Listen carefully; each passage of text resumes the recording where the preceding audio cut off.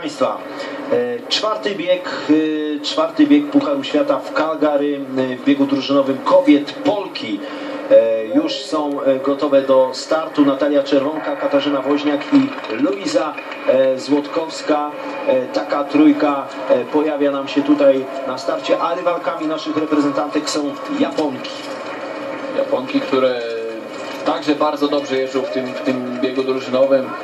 Wiemy, że są zawodniczkami, które zdobyły złoty medal mistrz- Mistrzostw Świata, więc na pewno wymagające rywalki, a nasz, nasz skład e, wraca, że tak powiem, do, po, po roku przerwy do, do tej konfiguracji który- z Natalią Czerwonką, która jak wspominaliśmy po, po wypadku podczas treningu rowerowego e, zeszły sezon stracony, na szczęście udało jej się wrócić do dyspozycji naprawdę pokazuje się z bardzo dobrej strony i, i wierzymy, że tutaj też to potwierdzi. Katarzyna Bachlada-Curuś e, na razie po urodzeniu drugiego dziecka spokojnie będzie wznawiać e, treningi. E, Zdaje sobie sprawę z tego, że w tym sezonie nie będzie m, startować, ale zapowiada swój powrót do ścigania.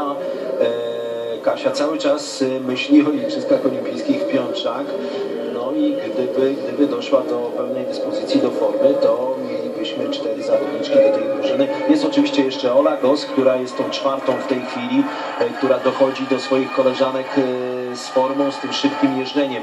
Na razie proszę spojrzeć, i jedna i druga ekipa, i Japonki, i Polki jadą szybciej od reprezentantek e, Rosji. E, Jest ten zapas czasowy i pytanie teraz, czy po dystansu będą w stanie doganiać Japonki. Niestety e, teraz już biało-czerwone jadą na piąty rezultat. Tak, ale tutaj jest najistotniejsze to, żeby utrzymały tempo, bo, bo, bo tempo jazdy jest, jest cały czas niezłe. Ważne, żeby, żeby one nie spadły. Realizator głównie pokazuje nam Japonki, które są na prowadzeniu. Nie widzimy, czy w jaki sposób jadą Polki, czy, czy tam jest wszystko dobrze, jeśli chodzi o, o, bliskość jazdy między sobą. Zaraz zobaczymy na tym, na tym wyrównaniu. No są Polki zdecydowanie w tym momencie z tyłu i zdecydowanie spadło też tempo okrążenia. To jest 29,6, więc, więc y, oddala się ta perspektywa wysokiego miejsca i dobrego wyniku. Japonki też troszeczkę już wolniej jadą i zobaczymy teraz ten kolejny pomiar. Jest jeszcze zapasu 8 dziesiątych, w przypadku Polek to już strata 2 sekund i 35 setnych. Wciąż na piąty rezultat jadą biało-czerwone. Zaczynają Japonki już ostatnie swoje okrążenie. Proszę spojrzeć 29,2, a Polki jadą okrążenie w czasie 30 sekund i 50. Luiza Złotkowska teraz na prowadzeniu.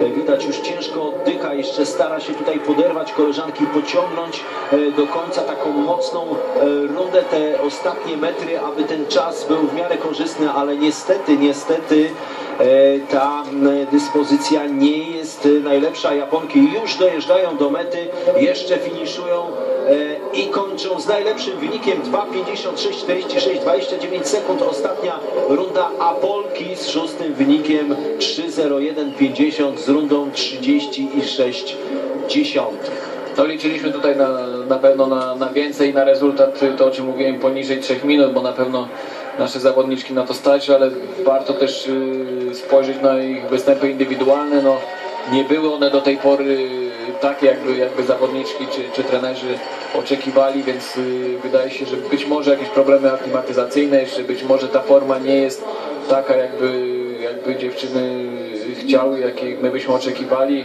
ale spokojnie jest to pierwszy start w sezonie, więc y, miejmy nadzieję, że kolejne starty będą, będą bardziej udane. A zatem na prowadzeniu Japonki przed Rosjankami i Kanadyjkami. Na szóstym miejscu Polki, widzą to Państwo z czasem e, 3 minuty 1 e, i 50 setnych sekundy. I przed nami, proszę Państwa, ostatni, piąty bieg w tej konkurencji.